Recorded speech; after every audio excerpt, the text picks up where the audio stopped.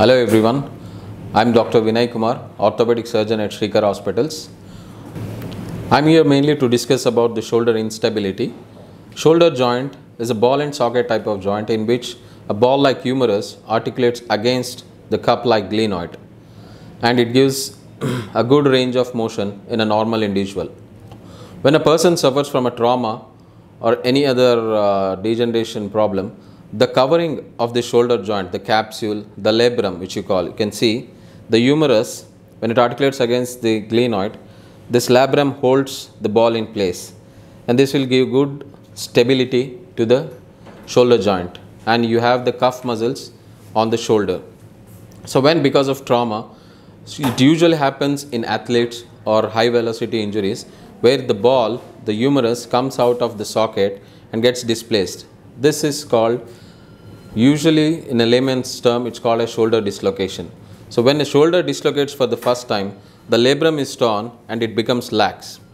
And because of recurrent episodes, normally most of the times what happens is the joint which is dislocated is reduced back and most of the people feel okay for some time. Over a period of time, this laxity increases and they might feel that instability and wake pain and the ball easily dislocates for the second time because of this laxity in the labrum.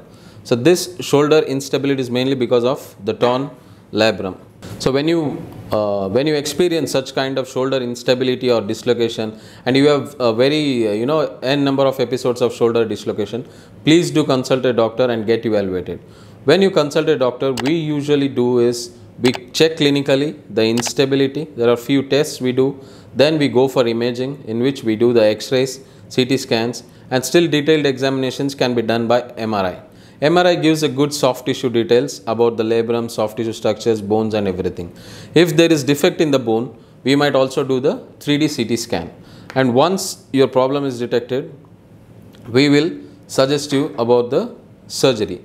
And the surgery for recurrent dislocation nowadays is with very, very, very uh, minimal invasive procedure which is called as arthroscopic Bankart's repair. This labrum which is torn of the glenoid is repaired back to its, to its place with minimally approach that is with arthroscopic technique.